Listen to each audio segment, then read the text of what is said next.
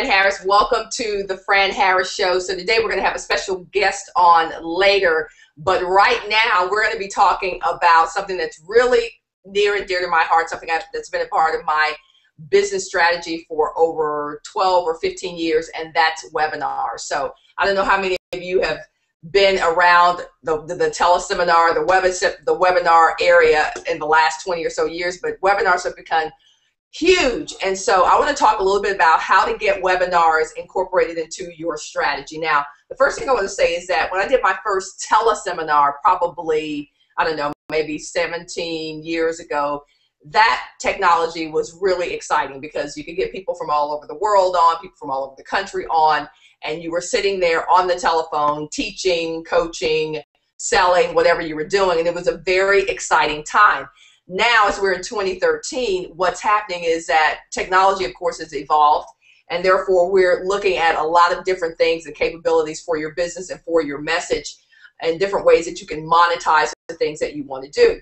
So today on the show, I want to talk just briefly about why webinars should be such a huge part of your strategy. So Google Hangouts is what we're in right now, and this has allowed us to do live shows and fun things like that.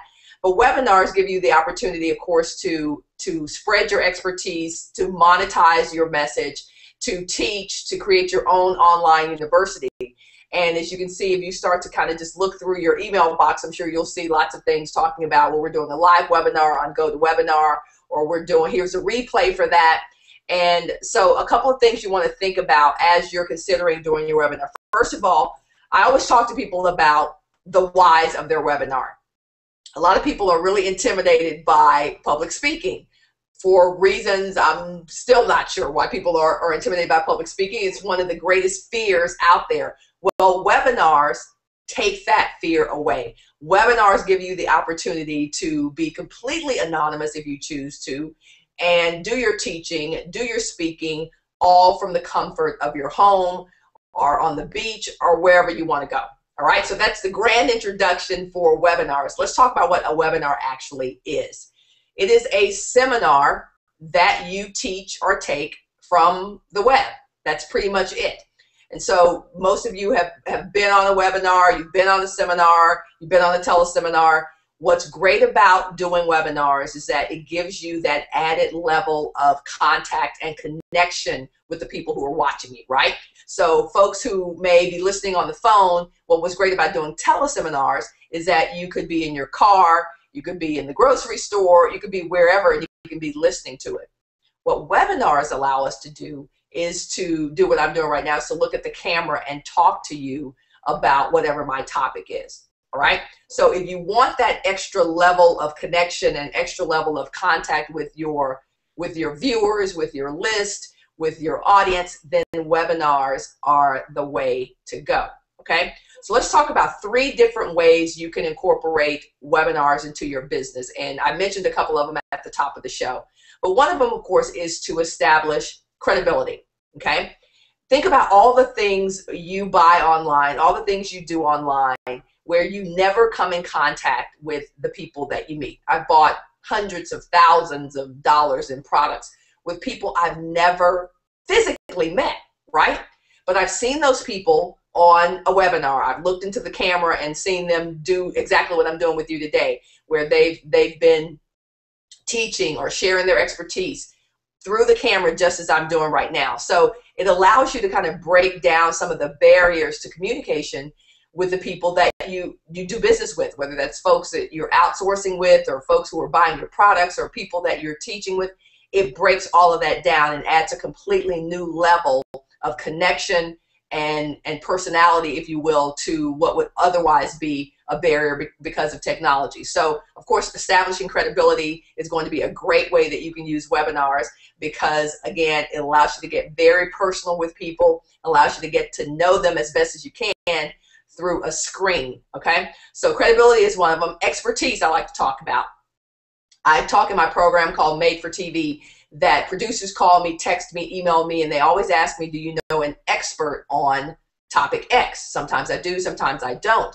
But what webinars allow you to do is to have that platform where you can talk to people for 10, 20, 30, 50 an hour two hours. You can do a complete training completely from the comfort of your home or your office. And you start to establish that credibility. People start to, if you're talking about a specific topic, people start to know you due to that topic. People start to associate that topic with you simply by the sheer virtue that you've actually taught a webinar on that topic. Okay, so you can establish credibility, you can establish expertise. Now, some of you are saying, okay, so what if I don't consider myself an expert? And my thing is, you don't have to know everything about everything or about that topic to be able to teach a webinar on it. You can do lots of things, including interviewing experts. So let's say you wanted to do a, a webinar series on child care, or you know, child obesity or something like that. Well, maybe you don't have that specialty in your toolbox, but if you went on the web and found experts who knew all about obesity and, and the occurrences in children, then you could do a webinar on that based on that series. So now you've got an interview every month where you're talking to someone about your area of expertise. Only they're the expert, you're just bringing the expert to the market. Okay? So it's credibility, that's expertise. And then the third way, well, I'm going to talk about more than three, but the third way is really to sell. So think about all the companies out there that are using services like GoToWebinar or GoToMeeting to connect with the people in their company. So you can actually create demos. How many of you have bought things online, whether it's software or courses, and to get to that shopping cart, you actually had to see a sales demo of the product. Well, so you can do the same thing with your product. So whether you are a fitness trainer, think about if you were attempting to to create more clients for yourself as a therapist or a personal trainer or a doctor or a chiropractor, whatever. That's really there are no limits. If you're attempting to create some level of expertise and connection with your audience in the attempt to sell them something either right then or later, then webinars give you that opportunity. So you're there, you're teaching, you know, how to do the perfect yoga stance, or you're talking about how to avoid going to the doctor, or you're talking about putting on makeup, you're talking about tying a tie. Well, basically, a webinar gives you the opportunity to create that sales demo right there on the spot for the folks who might be buying your product. Okay, so there are no limits. And so some of you who are thinking, okay, well, what if I don't want to be on camera? What if I'm not a camera hog like you, Fran? what if I don't want to get on camera and talk to it and pretend that there's an audience there? Well, guess what? You don't even have to do that. You can actually do what's called a screencast. So in other words, what you would do is to create a PowerPoint. You might create, if you're a Mac person like I am, you might create a keynote presentation. And within Google, you know, within Google Hangout and even some of some of the other platforms, you just do what's called a capture of your screen. So you would, through the process of that technology, you would project your screen onto your computer, and therefore everybody who's watching you in your show can actually see the PowerPoint or the keynote presentation. Pretty cool, huh?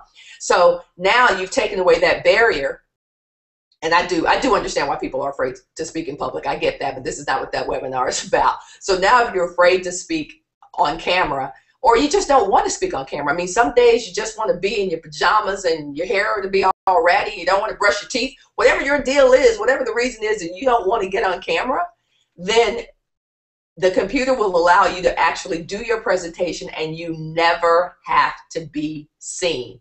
I mean, how cool is it to be able to project to a global audience and you never have to be seen? So there really are no excuses. And you know, webinars give you the opportunity, as I mentioned, to to sell to your audience. So let's say you were interested in building your clientele on a, a, specific topic, and then at the end of your webinar, you talk for maybe 30 or 40 or or 80 minutes or whatever it is, and you wanted to sell them something at the end of it. Well, guess what? You've actually spent time with them over the last 20, 50, hour and a half. Now there's a level of rapport that at the end of that, you can make an offer. You can make what's called an offer to your audience to say, okay, so if you liked what you saw today and you'd like to go deeper with me, here's how you can connect with me. I've got this package and, and I'm going to outline it here. Week one, you're going to get this. Week two, you're going to get this. Week three, you're going to get this. Boom. Now you've created business for yourself. You never had to leave your house. You never had to put on makeup. You never had to put on a tie.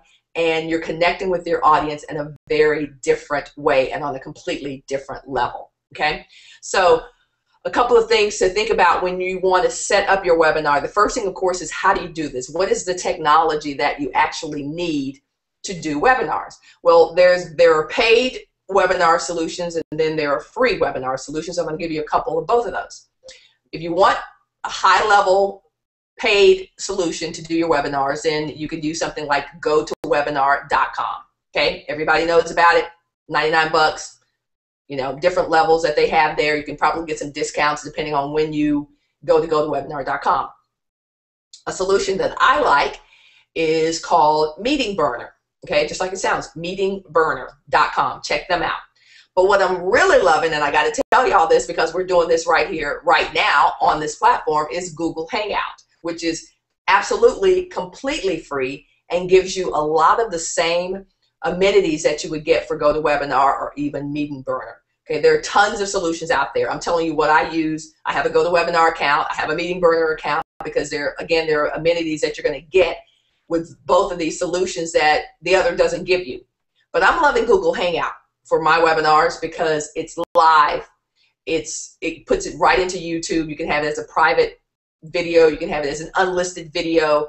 You can have it as a public video. You can take the embed code and put it on your webinars and promote it on Facebook and social media and all kinds of good stuff.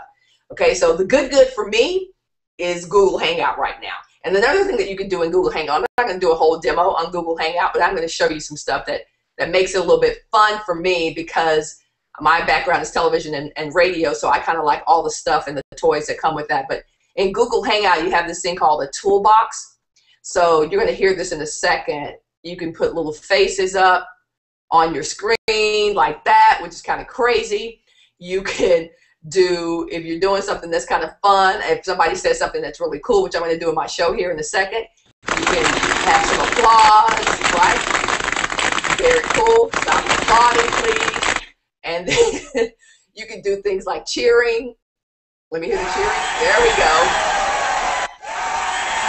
All right, so you see that's in Google Hangout. Now, of course, the other platforms will probably kind of catch up with all this stuff, but what Google Hangouts has done is to make doing webinars or performances or presentations a little bit more like a show, which is a better fit for me. Okay, so just a quick recap before we sign off.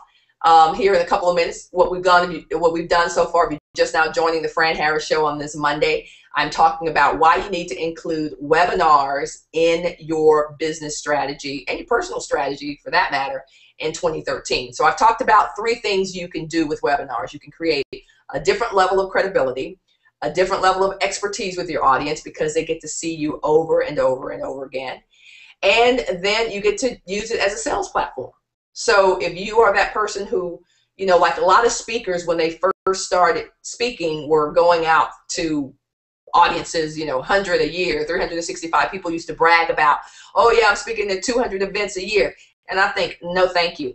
I don't want to be on a plane 50 times. I don't want to be on a plane five times a year, let alone 50 or 100 and 150 times a year. So what webinars allow you to do is to pretty much have your audience come right to your office, right? It allows you to broadcast, to speak from the platform from your office, from your home, from your car.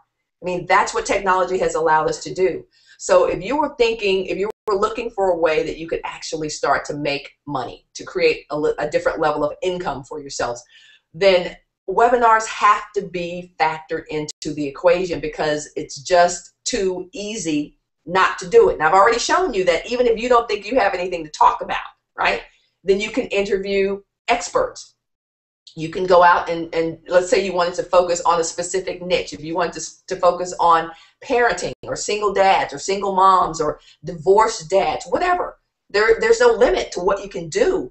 If you want to focus on them and you just want to do an interview series, a, web, a complete webinar series on single dads or makeup artists or, or ex-celebrities, whatever, no, no limits. You can do that through the power of the technology that I'm using right now and have no barriers to entry because there's nothing to pay for with Google Plus. Of course, I mentioned go to webinar.com if you really want to go for a premium solution, or you can go to something like Meeting Burner, which also has a premium solution. But my thing is, if you just want to get started in webinars, my recommendation is to check out Google Hangout. You can get you can also get a 30 day trial with gotowebinar.com, and you can get a 30 day trial with some of the other solutions out there. But there's really nothing to stop you from leveraging this to teach, to preach, to demonstrate your products, to network with people, to teach classes. I mean, there's nothing to stop you from doing that. And I've been fortunate to make a very good living by incorporating webinars into my strategy. And yes, like a lot of speakers, I started, as I said, going and speaking a lot of different places. I have clients all over the world.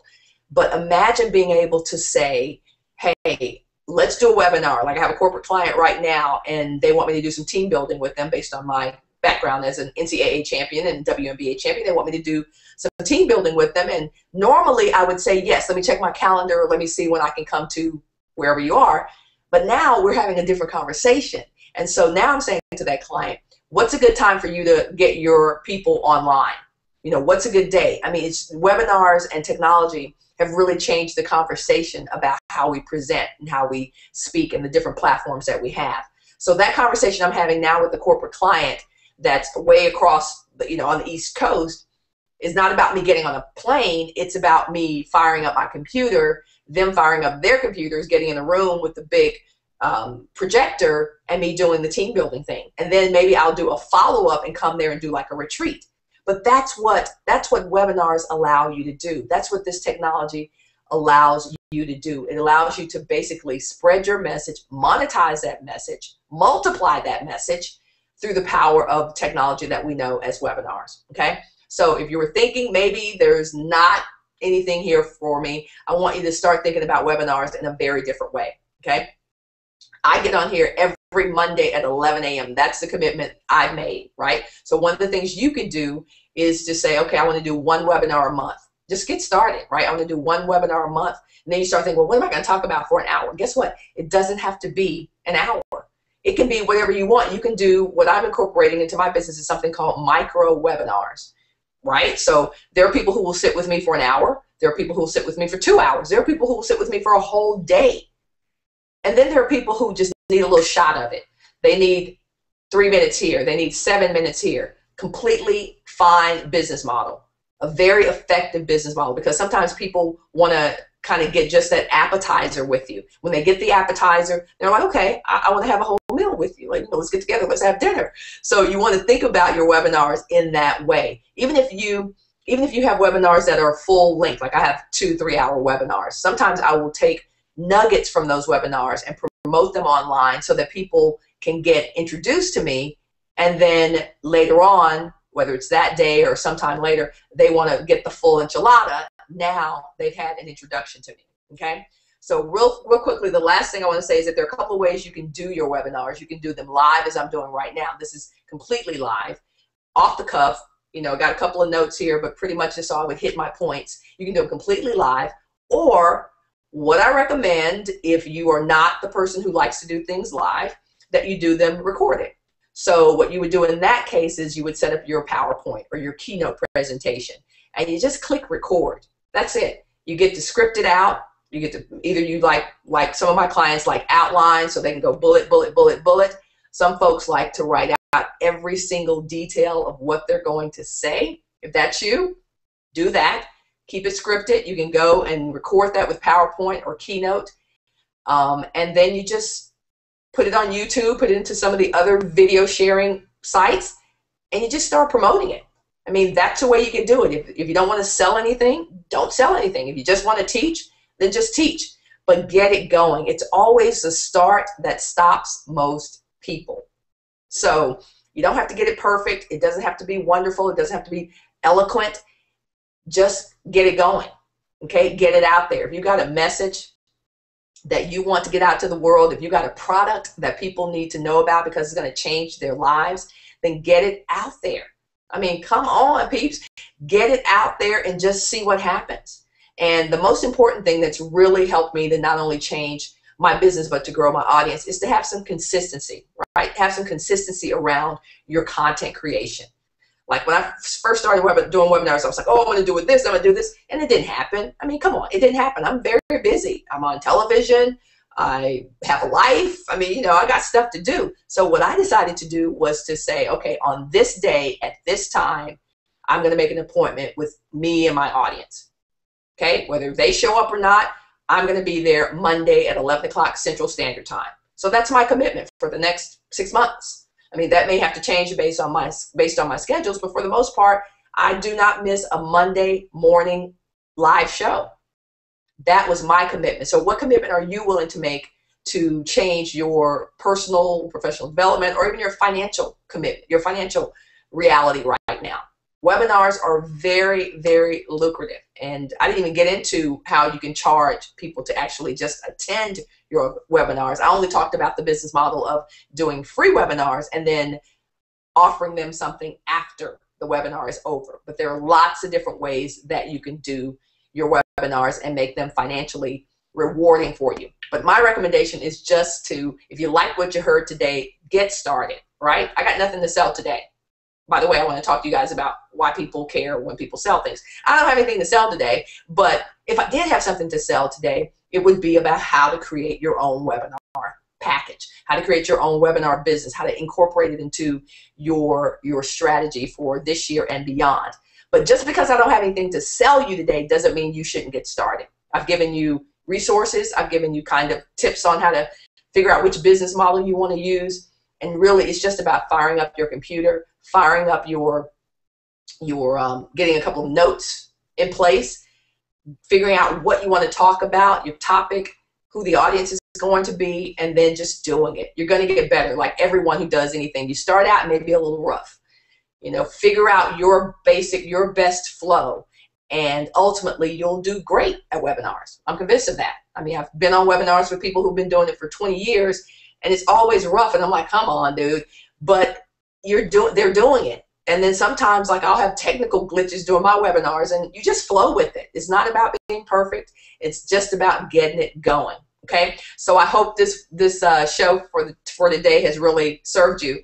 It's um, about 11 27 and i'm about to interview a live guest on the fran harris show. So if you hung around for the webinar good good then you really want to hang around in the next two minutes. We're going to be live again talking to a very special guest here on the Fran Harris Show. Stick with us.